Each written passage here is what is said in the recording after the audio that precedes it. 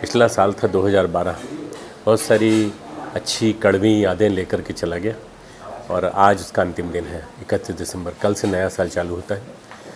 मैं आज दक्षिण भारत के कोयम्बटूर क्षेत्र में बैठा हूँ और आज शाम तक मैं हरिद्वार पहुँचाऊँगा।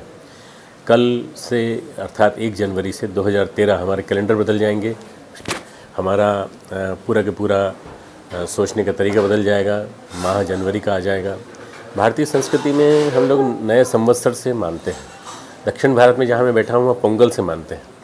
और नया वर्ष उगाड़ी करके होता है, युगाड़ी, वो नया संवत्सर वहाँ से मानते हैं।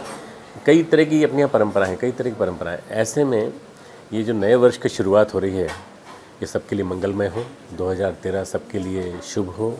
उज्जवल भविष्य लेकर के आए। जो इस साल ऐसे घटनाक्रम घटे जिनसे कि हमें, हमारा सबका हृदय दुखी हुआ।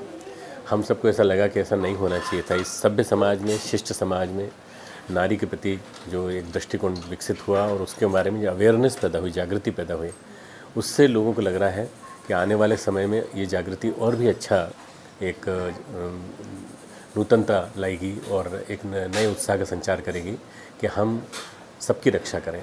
हम अपनी रक्षा नहीं कर सकते, परंतु हमारे साथ यदि पूरा समाज है, समाज मिलकर के एक साथ करेगा तो रक्षा होगी। ये नया वर्ष जो है, जनवरी का जो महीना है हमारे भारत उत्तर भारत में ठंडक का महीना है, बहुत ज़्यादा ठंड पड़ती है। थोड़े दिन बाद हेमंत की ठिठुरन चली जाती है और वसंत आ जाता है।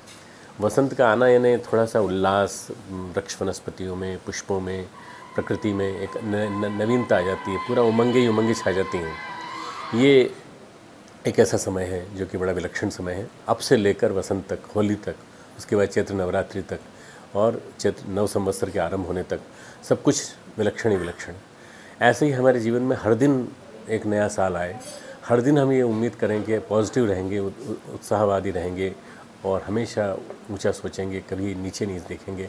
तो हर व्यक्ति प्रसन्न रह सकता है, हर व्यक्ति खुश रह सकता है।